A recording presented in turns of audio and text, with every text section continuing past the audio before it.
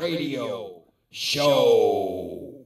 Everyone, welcome once again to the 25th Hour Radio Show. This is Kevin Hunsperger from WSIL TV and KevinHunsblogger.com, along with Tom Harness from Harness Digital Marketing. Tom, once again, uh, Rob has hit a home run with us, and the Classic Rock Showcase continues with another fantastic guest. You know, I'm I'm 43. You're obviously way older than me. Yeah, way, like way. what? Four months? Five months? Yeah. You're just you're still you're older than me. There was something really unique about growing up in the 80s that everybody really enjoyed, and a lot of it was just the music. Yes. And and one of it was this whole this rock revolution, this glam revolution. It was just a whole different thing that was in your face. And today we get to uh, get the the honor of one of the. Well, I'm just going to say it. She was beautiful. She was hot. She was Roxy from Vixen. well, you're saying was. oh, now Is. She Is. still is. She still is. Absolutely. she still is 43. How can you guys be 43 when I'm only 28? because you found some way to do Time Machine. Like when you're an established rocker, I think it's all the fun, the singing, and all the other stuff that keeps you ageless, right, Roxy? Well, that's what rock and roll's about. There is no age in rock and roll. You don't age in rock and roll. And I love that. And you know what? I've Hold the mind.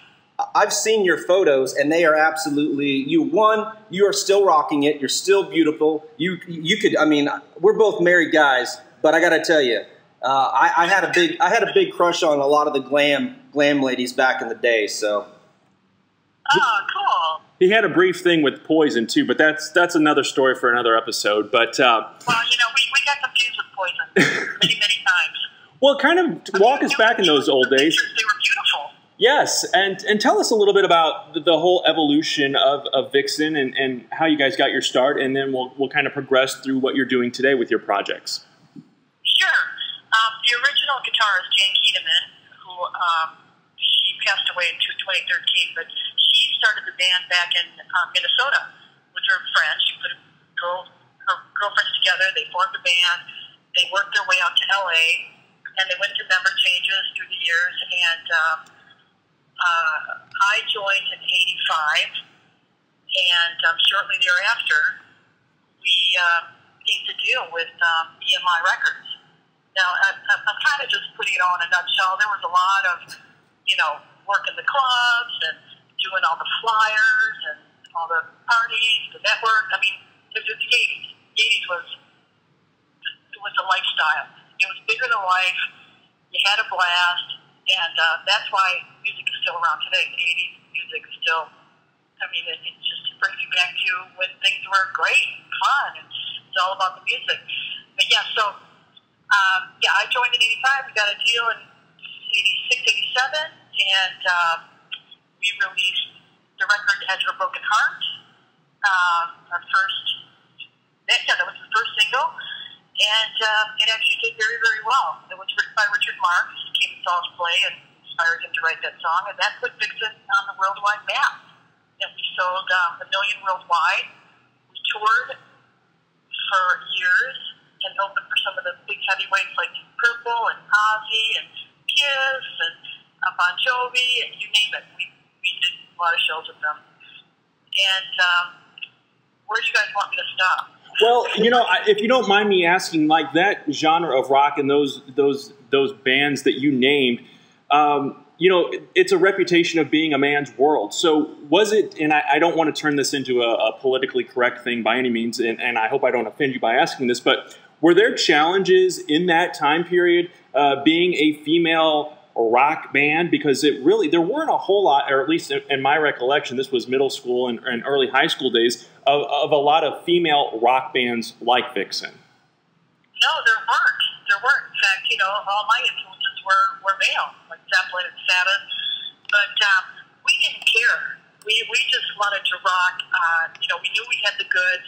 So we went out, we played the clubs just like the guys and did everything we needed to do to get our name out there. Uh, you know, we didn't care if they, uh, you know, we just didn't care. It was it wasn't it wasn't about girl or guy. It was about putting out some good music and being a cool rock band. Um, it just it took long uh, to earn credibility, but we did because we delivered the goods live. We you know there, so we got accused of playing tapes in the background. and it wasn't. So we, we did everything live, the vocals, everything. There was none of that. So yeah, there was, you know, we had to do everything. We were under a microscope. It was kind of like, um, not only can you play drums, but can you do a flip while you're playing the drums? Can you twirl a stick and flip? It just it like felt like we had to work twice as hard. But it, like I said, it didn't matter. We loved what we did, and we just played with a take no prisoners attitude. If the boys can't keep up, well, we won't hold it against them. So there, there was really no pressure from the record label for them to basically say, "Hey, we want you to look this way, and we want you to do this." You literally pretty much Oh, drove that. there was. Okay. Oh yeah, there was. Yeah, there was. Yeah. Um, we, we just said, blow out your ass. And that's the way you rock it, right? That's the way you rock it. Yeah, so we are who we are. We wanted to dress up. We wanted to wear makeup. We wanted to do all that. We didn't need to be told to do that. But you know, you'd have guys saying, "Well, you know, can you? You know, we, we want more of a popular band." Well, that's not who we are. So go find somebody else. Okay, so I've got to ask this. You know how the rock bands have groupies? You know, did you guys have your own guy groupies? you want to be a groupie? Well, I'm not gonna lie. I mean, if, as long as we'll, we'll edit this part out, so my wife doesn't get a little bit jealous. But uh, but no, I just I'm really curious. No, yeah, sure we did. Yeah, of course we did. They, they followed us and they did all that. But they weren't like girl groupies take their clothes off and throw them on stage. Although one guy did take his underwear off and throw it on stage and it ended up on my drum stand. And nobody wanted to touch that. Yeah, it, it doesn't quite have the same doesn't have the same appeal, does it? Whiteies. Um, but uh, they were more actually they were more respectful towards us, and they were more um, I don't know. They just they were nervous when they would talk to us. We we were you know like leaving the bus to go to the venue, what they were always waiting there with a, a million things for us to sign, like records and pictures, and they were just mainly polite. We just took pictures with them. Um, you know, you you get the occasional guys who would you know, when we were playing the clubs, one guy wrote a little note and gave it to Jan, and it said something like "on the menu tonight," and then it proceeded to write all her body parts on it. Okay. you know, that's crazy stuff, but it's all fun. It's all good. So now it's evolved. To tell. So the 80s, obviously, we're out of the 80s, goes into the 90s. The band um, kind of disbands, re, uh, repicks back up, and then Yep. these transformations of the band, you're going into different genres. You're getting, you're competing with different, uh, different demographic. How has it changed from the 80s to the 90s to now into the 2000s with your following? Are you are you getting new followers? We're not only are we getting the old followers, but we're getting the older followers with their kids. We bring their kids to the shows. So there is a new generation that is totally turned on to the 80s rock. So that that tells you a lot. And you know, you This you music and this lifestyle, that lifestyle, it stood the test of time. People miss it. and, and you hit on it. I think it is. There was something unique about the lifestyle of the '80s because it combined, you know, fashion and uh, this "I don't give a crap" attitude. I think that's why when you go into the '90s, where you get the grunge, you get a little bit of that, but it was there was no fashion. It was more of like an emotional statement. But in the '80s, it combined so much of just just of everything pop culture. Like it, it culminated into everything: TV, radio, music. Oh yeah, like I said, it was it was just a it was a lifestyle, and you know, all good things must come to an end. I mean, you, you couldn't keep that up forever, right? So it's just weird how the pendulum swung completely the opposite way, where it was these guys went on stage now with uh, you know flannel, and they were looking down on their guitars, and they looked like they wanted to, you know, they didn't want to be up there, but some good music came out of the '90s with Stone Temple Pilots and you know. Um, Soundgarden. I mean, some really good stuff. Um, but I prefer 80s, you know, straight ahead rock, just happy. You know, when you go to a show, you want to you want to see a show, and and those bands put on a show like Kiss and Bon Jovi. I think it's all about the show. It's bigger than life. You want to you want to go to a concert. You want to just leave going, wow, that was really cool. Yeah, it really it, it, it's show business. I mean, it's it's yeah, absolutely, and I, that's one of the things that I loved and, and remember still about the '80s. But we were talking earlier; it, it's all kind of evolved and come full circle. And you have some other projects that are in the works right now. Uh, can you talk to us a little bit more about Madam X and, and Monstrosity and, and what you're doing with that? Right, right. Well, okay, it, it took about 100 years to finish this record, but we're, we're done. And it was mixed by the legendary Michael Wagner. And uh, actually, Mark Slaughter mixed two or three of the songs, three of the songs. And uh, he's finishing those up. They're going to be mastered. We're looking at um, hopefully releasing it in August or September. We have we're going to do everything ourselves. We record everything ourselves, but it looks like we have some record company interest, but we'll see where that goes. Um, we're uh, thinking about shooting a video, maybe possibly next month. So we have a lot of good things happening with Madam X. In fact, we're doing the Monster Rock Cruise in 2018. And um, VIP After Show, that is a project that Maxine, is my sister Maxine and I, we started writing music that wasn't necessarily right for Vixen or Madam X. And uh, we just started writing, and, uh, you know, I was uh, on, the, on the came up with Kilmister.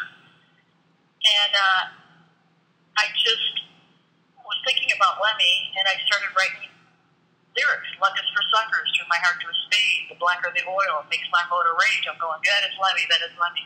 Basically, it's a love song. Aren't those true enough words?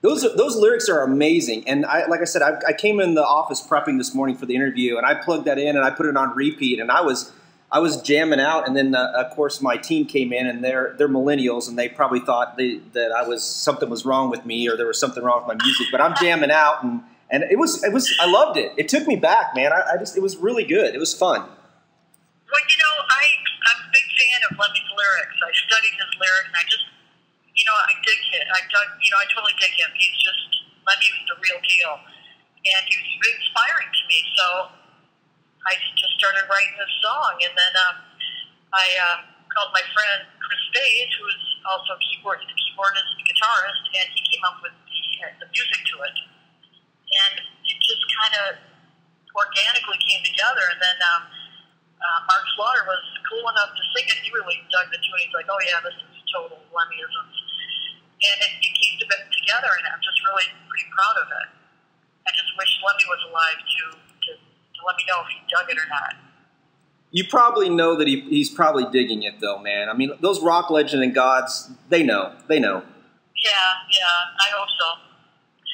So yeah, so uh, we released that. That is available uh, at all digital downloads right now. You can pick that up, and then we, we also have a tune called Full Metal Jacket that Maxine and I wrote with Mark Slaughter singing.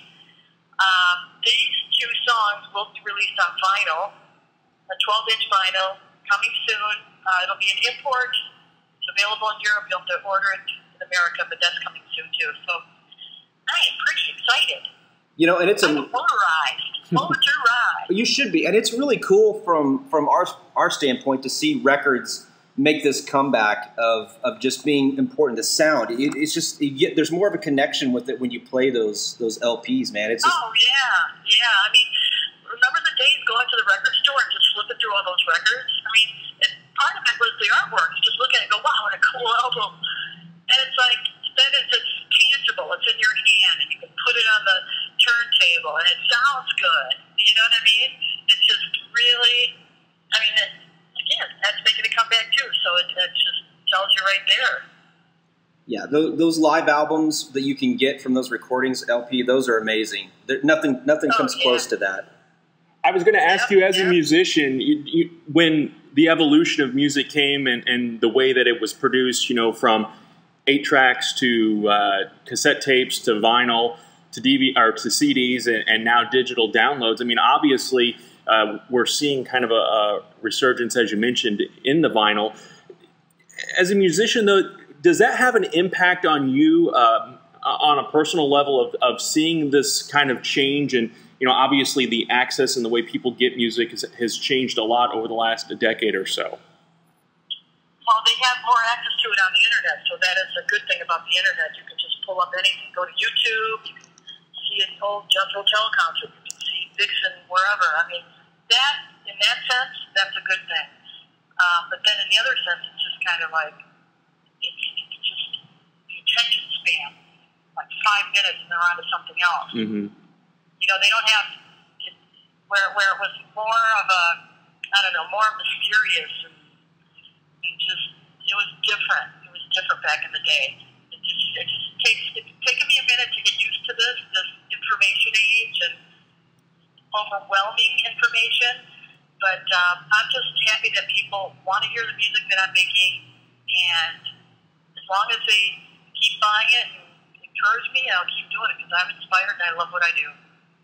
You I talked will keep doing it. you talked about how you had to beat the streets and go to bars, and you probably did some of the same things. Sold uh, albums and cassette tapes out of the back of a car and just carry everything.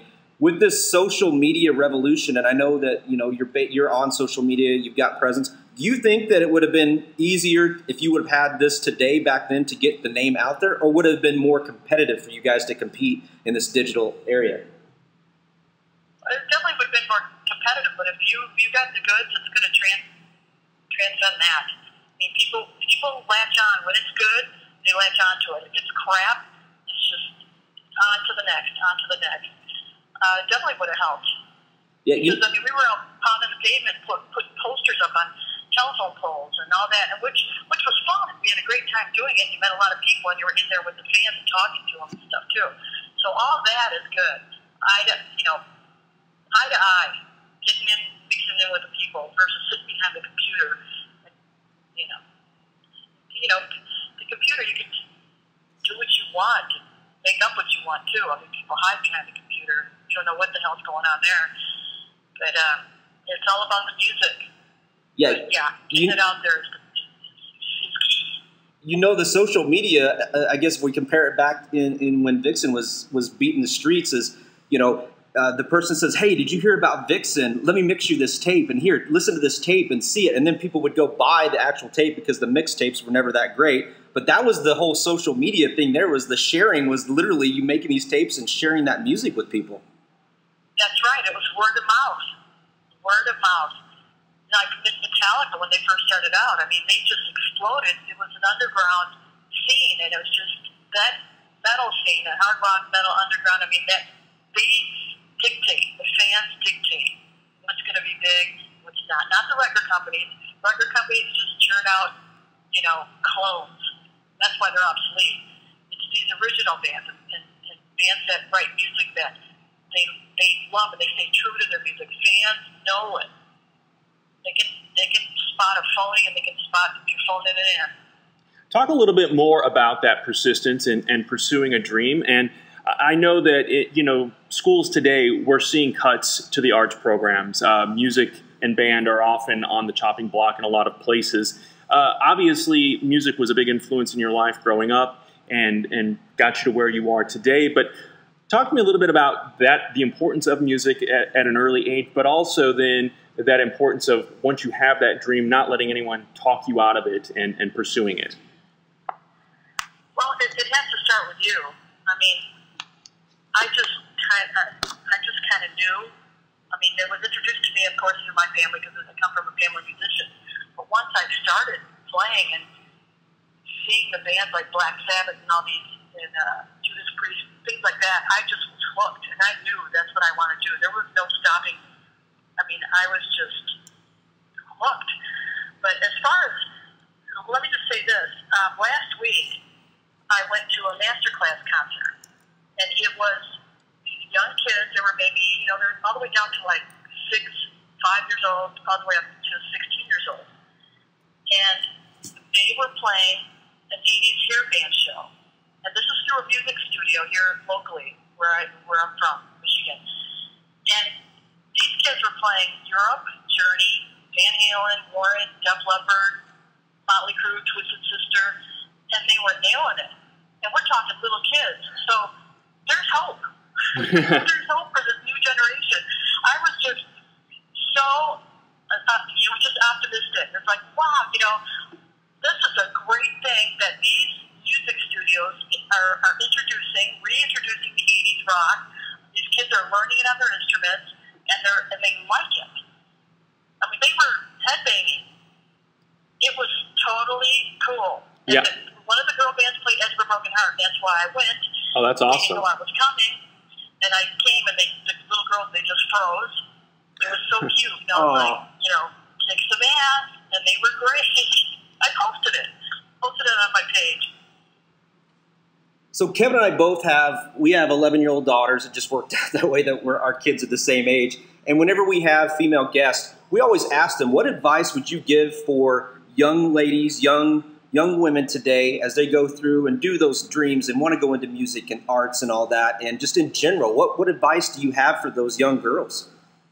I would say they need to practice. Practice, play as much as you can, get as good as you can on your instrument the looks and all that, that, you know, that is fine. That'll get you the attention. But after that, it's the goods. Can you deliver? I and they have to have a passion for it.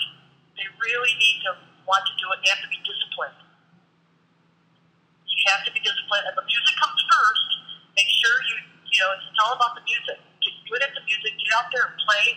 Play more. Play often. Just keep playing because that's how you're going to get in tune with what uh, uh, the fans want and you get comfortable on stage. And it's all building your career. Got to start at the bottom. There's no, you know, the voice and all those things. You know, you just stardom. That's rare. I mean, if you want longevity, you got to really pay your dues. Got to work hard and hustle. Work hard and hustle. That's the way I was taught. it's the way we grew up for sure. some. Absolutely. Is, is there anything else you want to say as we kind of wrap up in our closing moments here? Uh, any social media plugs you want to give that, that folks can find you guys? Oh yeah, they can. Well, I'm, I'm so not. I'm really not that good at social media. I'm still trying to get, you know, get the swing of things. But yeah, Vixen. We have a Vixen Facebook page, Vixen um, uh, web page. You can find it. You just punch it in. We're there. You're going to find it. I'm on. I have my own page. Maxine has her own page. You know, we're all over the place. Yeah, I sent you a friend request, so hopefully uh, after this interview I will get approved. So that'll be nice. Now that you know oh, I'm me. going to block you. Oh! no, I'm just kidding. We all do. I enjoyed our conversation, and I want to thank everybody, all the fans out there, for sticking with me. And we'll plug your social media accounts too. And you know, we need to give another plug for something here. I, I, I if you're looking for your next video for a gray-haired 44-year-old man and a bald 44 for 40-year-old man to get that demographic, give us a call. We'll see if we can't come out and, and be in that that next vid, that next video. That'd be awesome. Oh yeah, I love that. well, this next video we do is going to be monstrosity, so we can use you guys. There you go. Awesome. I'll wear my I love like it? I'll wear my I love my wife T-shirt, and you can wear your uh, Smurf T-shirt. There you There you go. go. There's nothing more rock and roll than that.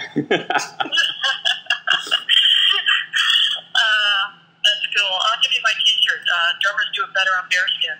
Ooh, I like that. You like that? Yeah, I would do. I would wear. I would wear that one. I would definitely wear that one. All right, Roxy, thank you so much for being a part of the 25th Hour Classic uh, Music Showcase this week. My pleasure. Thank you guys, and hope to see you on the road. That would be great. All right, rock on. Rock on. Bye bye. Thanks. Yeah, thank you. Bye. Well, Tom, another great interview here on the 25th Hour Radio Show. Um, I've got some T-shirts on the way. There you go. That would be so much fun to be some middle-aged men in a Vixen or Madam X, uh, Madam X uh, video, and Michigan's not that far. I, and they've got beer. We could road trip. They've got craft beer there, so we could There definitely do that. Well, you know, the one thing that everybody connects with is is music. As we get older, we kind of go back to that. Uh, our kids are going to connect with the music that they hear today. Absolutely. My wife connects with the music that she heard back when she was growing up. So what's great is that again, it was a, such a pop culture sensation that it, it culminated everything from just fashion and clothing and everything. And, and this band was absolutely at the forefront of that. They sure did. They led the way, and uh, as she mentioned, you know, one of the very few, if only, female rockers. You know, obviously there were other female performers out there, female bands, but uh, nothing quite like Vixen. No, not at all. The only other person that really stood out for me uh, during the '80s that was a female kind of a rocker was was Lita Ford. I was going to say Lita Ford would be the only other one that comes to mind, and uh, yeah, absolutely. Uh, it was our pleasure to speak with Roxy, and as mentioned, be sure to check her out as well as Madam X, Vixen. Uh, just search them in your, uh, throw them in your Google machine, as they say, and uh, you'll definitely find them. and we'll plug them online as well.